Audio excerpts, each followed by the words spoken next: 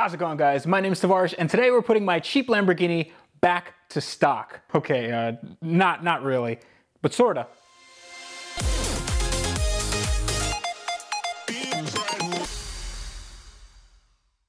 So, for those of you new to my channel, thank you so much for tuning in, and I hope you guys like it. Subscribe if you like what you see. This hunk of metal behind me that's all taken apart is my 2008 Lamborghini Gallardo Spider, and I just put the manual transmission back in, and now we have a working clutch, which was a really big deal because my clutch looked like this.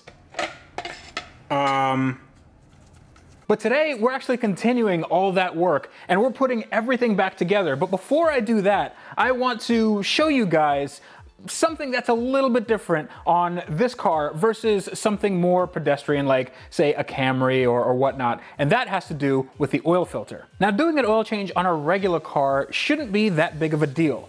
On this car, it's a little bit more complex because this is a dry sump engine. And what that means is that instead of having a sump at the bottom with all the oil in it, like most cars have, they have an oil pan this has a dry sump system, meaning that it's just actively uh, funneled from an oil tank right here. It's external. And what that does is that this engine can withstand a lot of g-force because as you can imagine, the g-forces in a regular engine, it would slosh all the oil to one side and sometimes the pickup in the oil pan doesn't get the amount of oil that it needs and then the engine doesn't get the amount of oil that it needs and then that's when things go kablooey. So in this engine, it has an oil pump that's constantly getting fed through an oil tank right here. And uh, that means that this can take a lot of G-force and a lot of high-speed maneuvers without going bam. But there's a few little quirks and features, sorry Doug DeMuro fans, about this engine when it comes to oil changes. And the main one has to do with the oil filter. Now the oil filter is this thing right here. And as you can see, it's not in the best position to take it out. It's actually in the V of the engine, which is great for oiling and it has really good access to all the all the oiling necessary components. But in order to change it, it really is a pain in the butt. So you need one of these special oil filter removal tools made specifically for this car. And uh, this cost about 35 bucks, which is fine. But this filter, it's a cartridge style filter and that actually is really expensive because cartridge style filters usually they cost the same amount as regular oil filters, maybe $10, $12 if you're getting something nice. This was almost $80. So uh, yeah, that's, that's a little bit more than I wanted to spend, but we need this car to run 100%. So another thing I noticed before I take this off, because I want to give you guys a little bit of a preamble, because you guys might see some carnage right here, is that this car sat for three years before it was given to me or I bought it. Um, and in that time, it was turned on sparingly. So when a car is only turned on and not reaching operating temperature, there's a lot of moisture that builds up in the crankcase. In addition, this car had a full tank of E85. That tank is, I still have it. I need to drain it and uh, I'll be doing that in a future episode. But that E85 also has a really, really high moisture content. And it wasn't helped by the fact that this car ran really, really rich because whoever put it together didn't really know what they were doing and some sensors got messed up and uh, the car was just running basically on limp mode. So it was throwing a lot of fuel into the cylinder. So uh, when I take this oil filter off, I'm expecting to see a lot of moisture, which looks sort of milkshaky. And and uh, that makes a lot of people scared that this has a blown head gasket, but there's no coolant in the oil, uh, there's no oil in the coolant, and uh, this is all basically condensation from a pig rich E85 tune that's been sitting for three years and has been turned on just basically for five minutes at a time. So let's, let's see what that looks like. Now I have already drained the oil, so uh, there shouldn't be any oil uh, coming out the bottom, even though I have a drain plug in situ right now. But, uh, and I will be doing a flush of the oil system. But I just wanted to uh, make sure we had a fresh oil filter in there when we start uh, putting the oil back in the engine, because uh, this thing has most likely seen a lot better days. We want to make sure that whatever O-rings are there, that uh, we don't foul them because even though we're gonna be replacing them, it's better not to have fragments of stuff. So that's actually not too bad. Yeah, there we go. So you can see there's this like milkshake substance and it does not smell like coolant at all. Um, that's what that's one of my major concerns that it smelled like coolant. And uh, a lot of times this, the sweet smell of uh, coolant mixing with uh, oil it's it spells death for an engine. And uh, I was a little bit worried about this but um, yeah tur it's turned out that it's just E85 and uh, that's what happens when cars just sit for a really long time. Let's see if we can get that to focus. There we go. Okay so you can see right here the cartridge and there's more of that milky substance where the uh, the gas and oil uh, just kind of met and met, met with uh, moisture. So uh, again, um, it's not that the gas is directly in the oil because that would indicate that there's a piston ring failure. But uh, I also do know that on engines that have uh, a lot of boost and a lot of power, they tend to gap the piston rings just a little bit more because when the boost hits and the more, more power, the uh, piston rings tend to close up uh, with with more heat inside the cylinder. At least that's the theory. Now, uh, this engine might be toast. I don't think so. I really, really hope not. This engine sounded healthy and it didn't exhibit any uh, nasty smoke um, other than the smoke that comes from running rich. So I don't think I have to worry about that. But this is, uh, yeah, this, this has definitely seen better days and it is past it. So uh, I'm just gonna clean this up. And here is our new filter and it is made in China of all places and it is identical to the one we took out.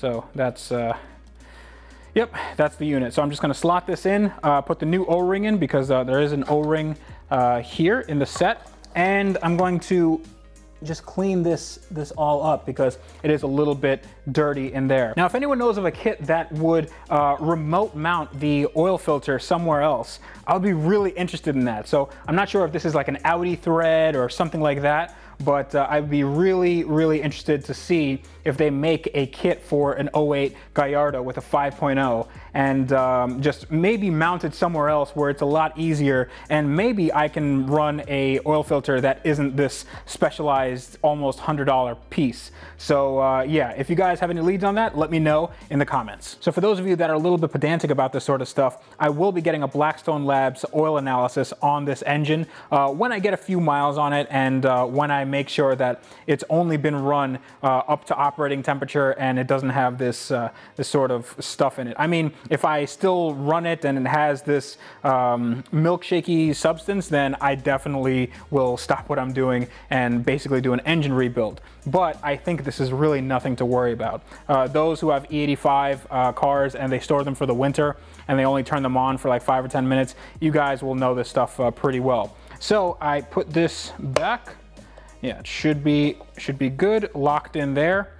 And all the O-rings are where they should be leave the old O-ring, yep, right here.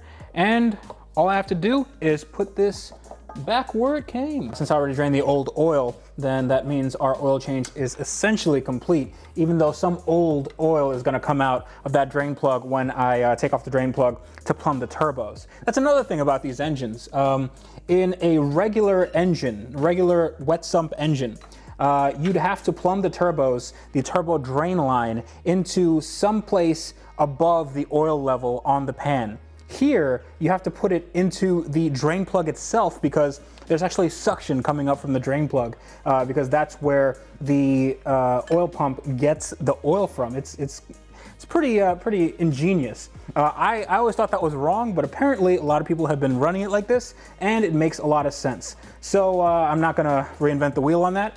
And I'm gonna run what I brung. So the next thing I wanna concentrate on are these transmission bolts. Now, the only thing holding my transmission onto the engine at this point is this one bolt, and uh, it's a little trooper, uh, if, I'm honest. But um, yeah, I only put this on uh, just to test that the transmission was um, uh, not fouling on anything and uh, that it was flush with the engine, which it is, and our clutch works as intended. So now I'm just going to do up all the other bolts. Now, uh, not, not bolts, they're nuts, but a lot of people think that you need, it's absolutely imperative that you uh, tighten these down to spec, meaning that you use a torque wrench and uh, all that other stuff. I generally don't think so. Uh, I think that the method of uh, Guten Tight is, uh, is pretty good for, uh, for stuff like this. because they don't have a ton of uh, force going in either direction. This is just uh, to keep everything in one sort of plane.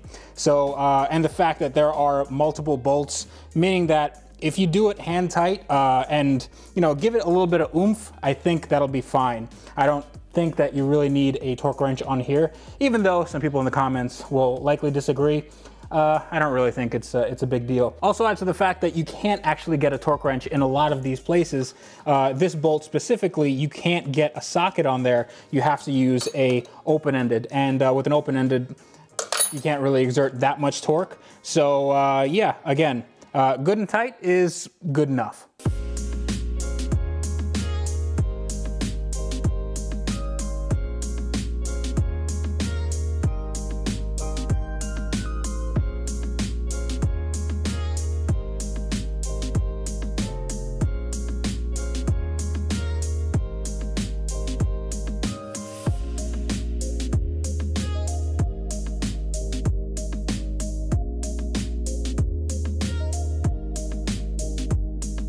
Now the next thing I wanna focus on are these valve covers. Now some of you may have seen when I took these valve covers off and basically gave them a lick of bed liner uh, to give that crinkle finish and uh, they look really, really good. However, I never actually tightened them down all the way. And I thought I would give you guys a little bit of insight when you're doing valve covers on your car because it can be a little bit tricky to put valve covers on and making sure that they don't leak. So since there's about a dozen bolts or so, I think there's like 14 bolts uh, on my valve cover, I'm actually gonna do a crisscross pattern starting from the outside to the in. Now sometimes people start from the inside to the out, and uh, I don't actually have a factory service manual for this car, so I'm not sure uh, what the bolt pattern is, but good enough is sort of good enough in this instance. However, what you do want to do is you want to make sure that these bolts are torqued to spec because they have a thin gasket that sits between this and the engine. And uh, if that gasket fails or it's pinched in some way or it's just loose, then oil gets on the hot exhaust manifold and then that's where you get a lot of burning and maybe even a fire. So uh, you definitely want to do these up on a lot of instances, on a lot of other cars, you're gonna wanna put some RTV around some of these sealing surfaces, but on this car, it's all one flat edge, so it should be okay, and uh, I made sure to clean everything before I put this valve cover back. So I'm just gonna do up a uh, cross pattern, and it's actually in inch pounds that I have to torque this, so it's 89 inch pounds, which translates to around 7.4 foot pounds, and uh, that's what we're gonna do, hopefully, my uh, Harbor Freight torque wrench is good enough for that. I think it is. I don't think it's gonna make any difference uh, one way or the other, but I've been rambling. Let's get to work.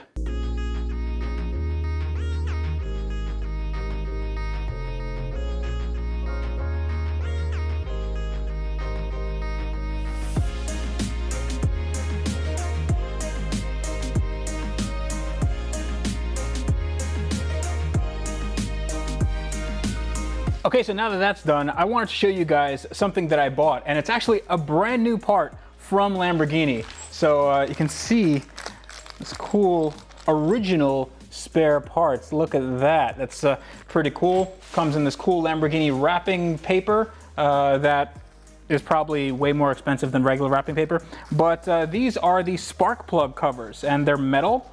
And you can see that they go right here on the spark plug. Um, on the uh, ignition coil packs rather. The reason why I'm not putting them on now is because this engine doesn't have any spark plugs in them. Uh, I have ordered some new spark plugs because I don't know how old these are, but uh, they definitely look like, you know, they've seen a few few launches um, and they're coppers maybe I can get some uh, something uh, platinum so they have a little bit more longevity uh, but I have to make sure that they are the right heat range because uh, with boost you want to have with Boost, you want to make sure that uh, you have the correct heat range. And uh, they usually go one or two steps colder depending on how much boost you go. So I think these are NGK BKR7Es. And um, if I'm not if I'm not mistaken, these are one step colder copper plugs.